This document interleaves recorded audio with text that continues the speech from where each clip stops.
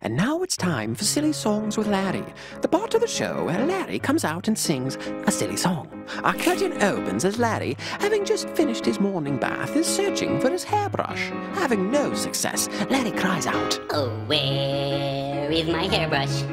Oh, where is my hairbrush?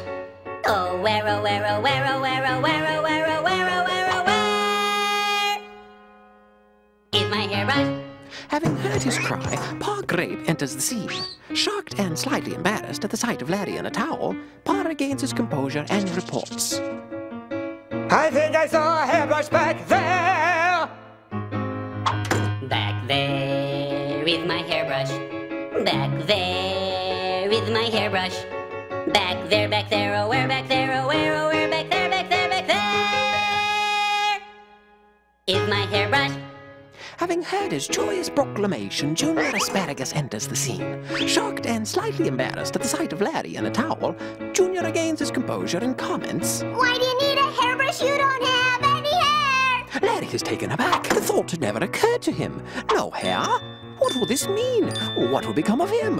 What will become of his hairbrush? Larry wonders. No hair for my hairbrush. No hair for my hairbrush. No hair, no hair, nowhere, no hair, no hair, no hair, nowhere back there, no hair for my hairbrush. Having heard his wonderings, Bob the Tomato enters the scene. Shocked and slightly embarrassed at the sight of Larry in a towel, Bob regains his composure and confesses. Larry, that old hairbrush of yours. Well, you never use it. You don't really need it, so. Well, I'm sorry. I didn't know. But I gave it to the peach, because he's got hair. Feeling a deep sense of loss, Larry stumbles back and laments. Not fair. Oh, my hairbrush. Not fair. My poor hairbrush. Not fair, not fair, no hair, not fair, nowhere, no hair, not fair, not fair, not fair. My little hairbrush. Having heard his lament, the Peach enters the scene. Himself in a towel, both Larry and the Peach are shocked and slightly embarrassed at the sight of each other. But recognizing Larry's generosity, the Peach is thankful. Thanks for the hairbrush. Yes, good has been done here.